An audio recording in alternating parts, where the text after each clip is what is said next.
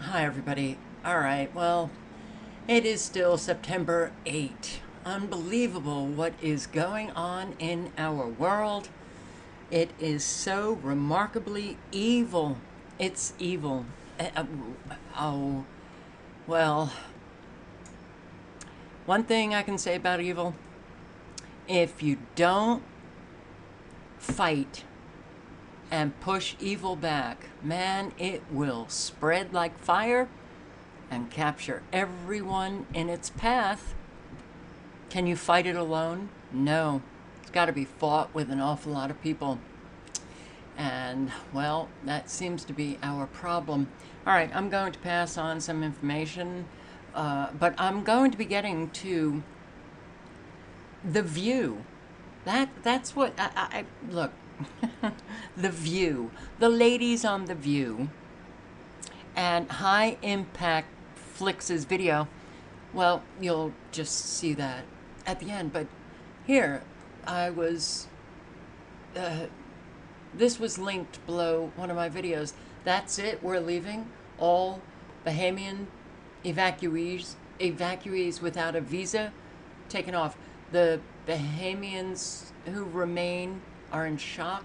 No one understands why the rule was changed at the last minute. The parents and kids now stuck on the island. Rules changing at the last minute. What's going on?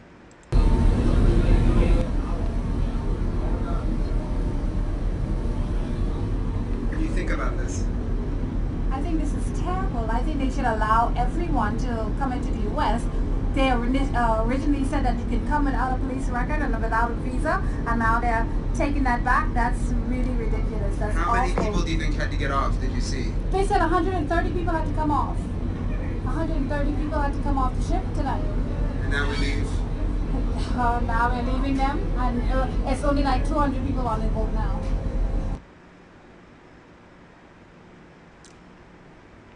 These people, they're real refugees. They should be allowed into the United States. Okay, uh, uh, well, I guess the Bahamian government decided to change the rule at the last moment. You finally get some hope. You know, you're you're a parent with children. Finally, you're going to get to a safe place where you can provide for your children. And then at the last minute, you're just yanked off. Wow, man, the psychological trauma of everything that is going on there is just staggering. Staggering. Oh, here, but Sean Connery. Sean Connery? Oh boy, do I not like this these articles. We weren't taking any chances. Sean Connery says he is lucky to have escaped unharmed at his luxury mansion in the Bahamas, where he was prepared for Hurricane Dorian, which may very well have killed thousands because the articles 70,000 that I guess was the population 70,000 homeless. Um, and there was a video with a woman talking about that they had I don't know sent in water for 62,000 or something I don't know. But the the numbers were not matching up. So Sean Connery wow. 89. He just celebrated his 89th birthday. Boy, that guy, he prepared for it. He did, oh, wait, no. He actually got his staff to prepare. But the storm largely avoided Connery's Island. Torrential rain, heavy winds, some trees were knocked down. We were lucky compared to many others, and the damage here was not great. We had been prepared for the storm. Everything was ready in advance. We weren't taking any chances and knew what to do. The former 007 actor, who celebrated his 89th birthday on the island, had hurricane experienced staff who helped him to make preparations. They would they would have barricaded him and his wife in the home, secured the windows, moved all garden furniture inside. You know, I, I these people disgust me. They just disgust me. They live in their mansions, plural. Plural. They help no one. I can't imagine having the kind of money that these people have and living the lifestyle that they live. I, I, I don't I don't get that.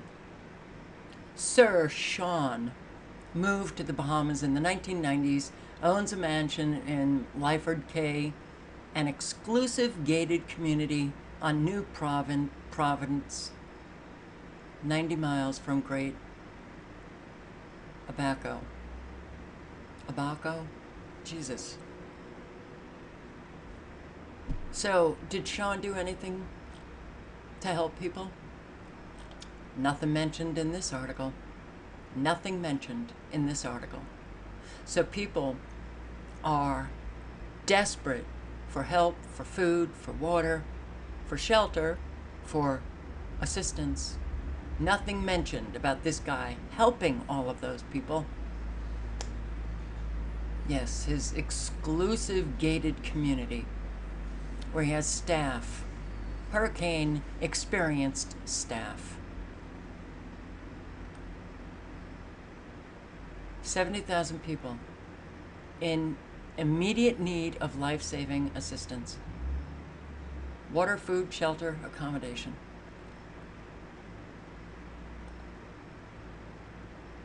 My God. Where is the Queen? Huh? Where are these people that have that could help so many people without uh, they wouldn't even notice that the money is gone. Oh my God. It's really. We have a serious, serious problem. You know, and because these people are famous, they're put on pedestals. They're put on pedestals for no reason, just because they're famous and rich. You know, and uh, subscriber left a very good point underneath my last video. You know, and she's made me question this looting. Is it looting, or are people trying to survive?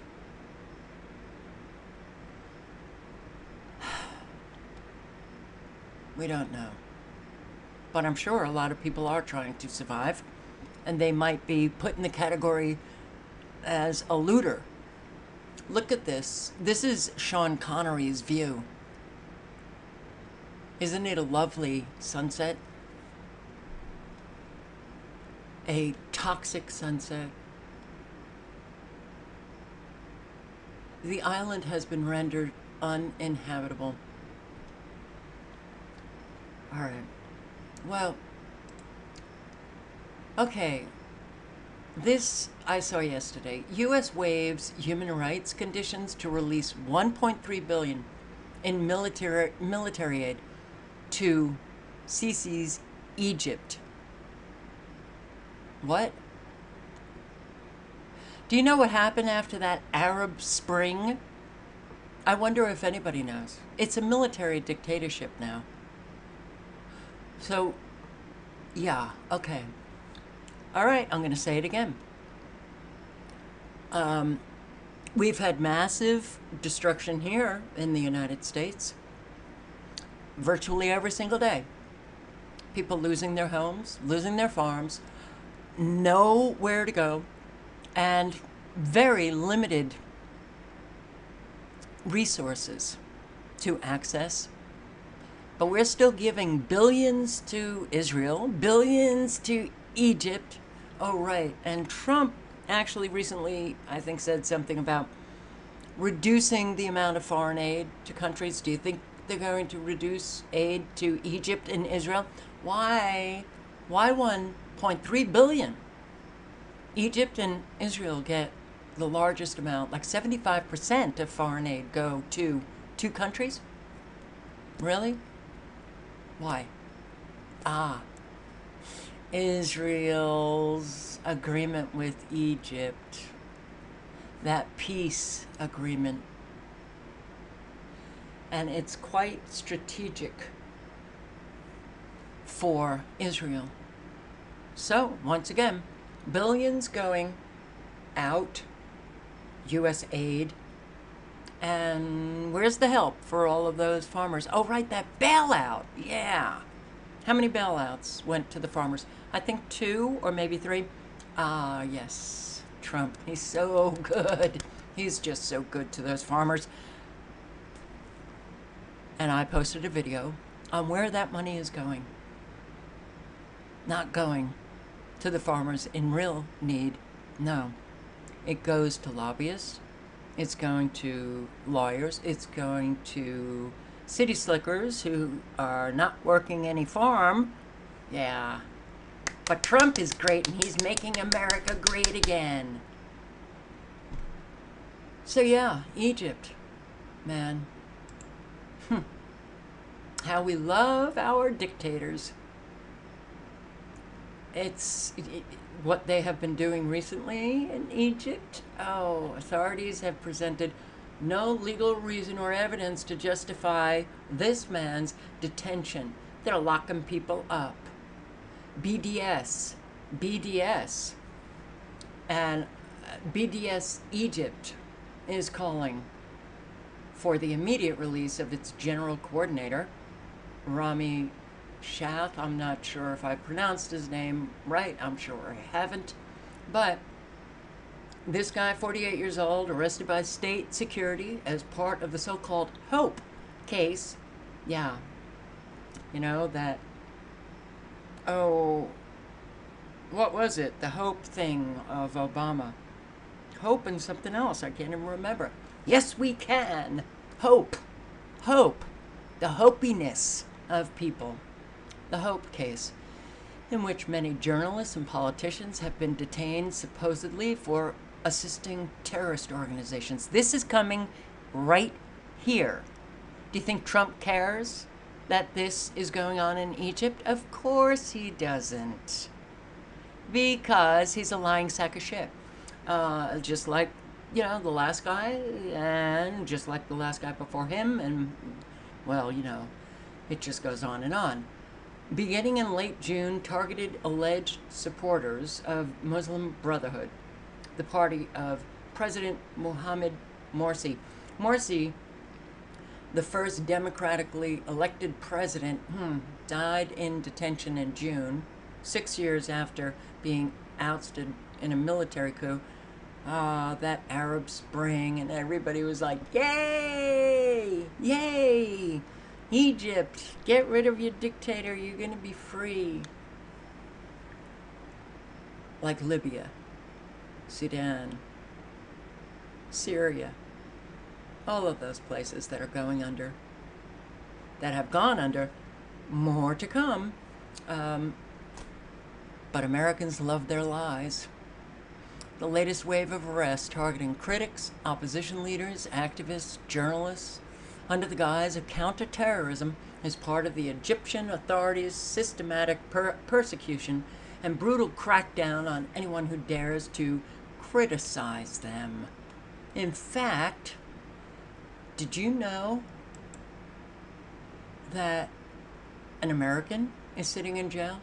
Oh, not just one. Americans thrown in jail in Egypt. Trump, well, it was Pompeo, actually. It was, yeah, good old Pompeo. Let's see. Uh, U.S. military aid to Egypt was set to expire September 30 without the crucial waiver. Love those waivers.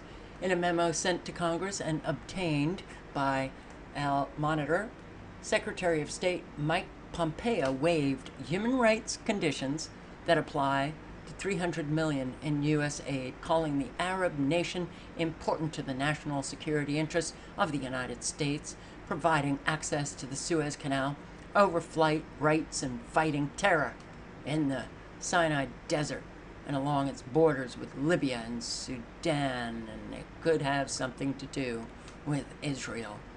Yeah, I'd say so. Man. Man, oh man. Yeah, I like this tweet. Dan Cohen. Remember this the next time the State Department blathers about human rights violations in Venezuela, Iran, or any other officially designated enemy country. Remember it. So, has Trump come out and asked for the release of a a woman who lives in Pennsylvania? All right. Uh,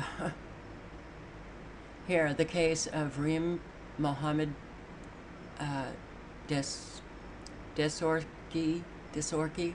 I I'm really bad with names. I'm sorry, but she arrived from Washington last month with her 13-year-old son.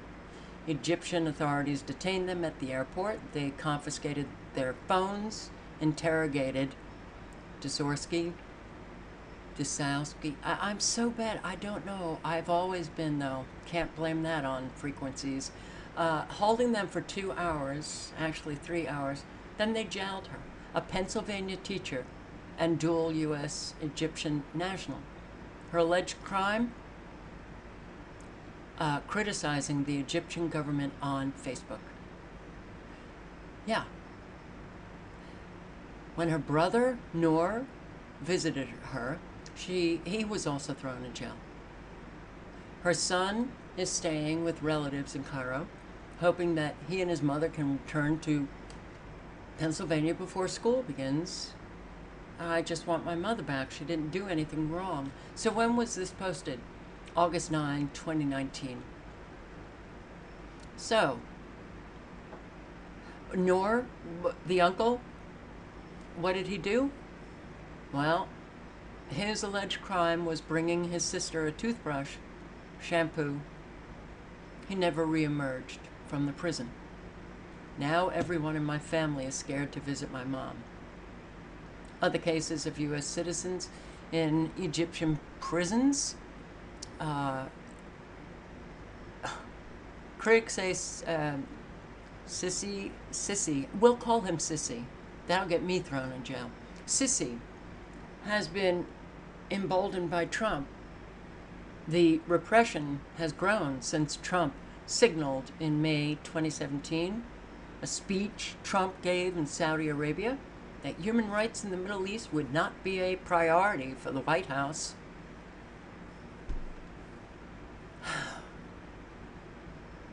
In Saudi, he said, We are not here to lecture. We are not here to tell other people how to live, what to do, who to be, or how to worship. How selective we are, huh?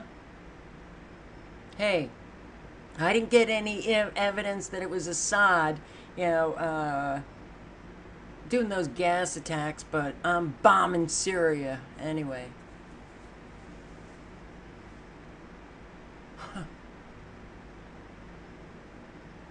I, I, I don't know what is wrong with Trump supporters who are quote unquote awake. It's scary. So Trump calls to congratulate General Sisi on his reelection, who, you know, it was not a legitimate campaign, but yeah. Security officials demanded both their phones, began scrolling through Desowski's contacts, photos, videos, social media posts. Ah, that's what we're doing here. They asked them questions such as why they came to Egypt, about her social media activity. They asked my mother if she liked Sisi or Morsi, and she didn't want to reply. She knew she would go straight to prison. Well, she did anyway. Alrighty. Fabulous. Give that country 1.3 billion.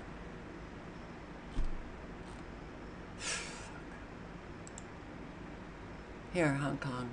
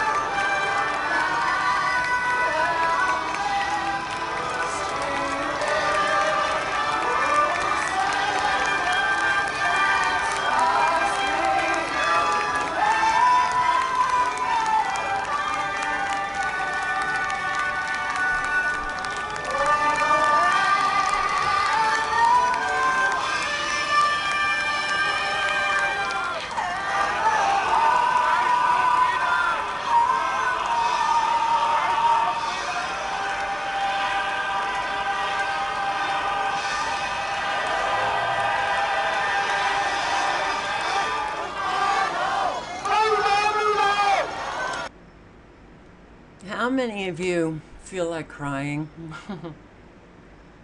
listening to that?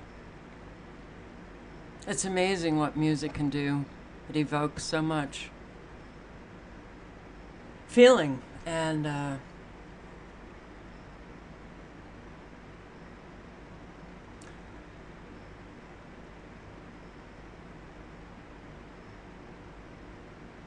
um,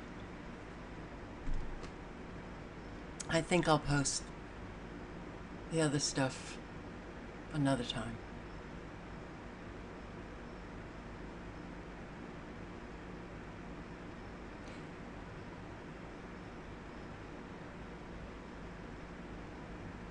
We were the hope.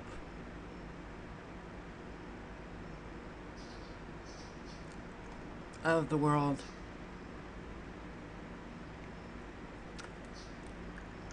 Maybe those in Hong Kong don't know what's gone on here. We, we really were that beacon of hope.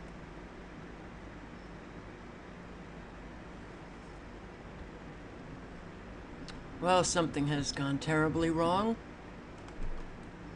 I, I think many of you would agree.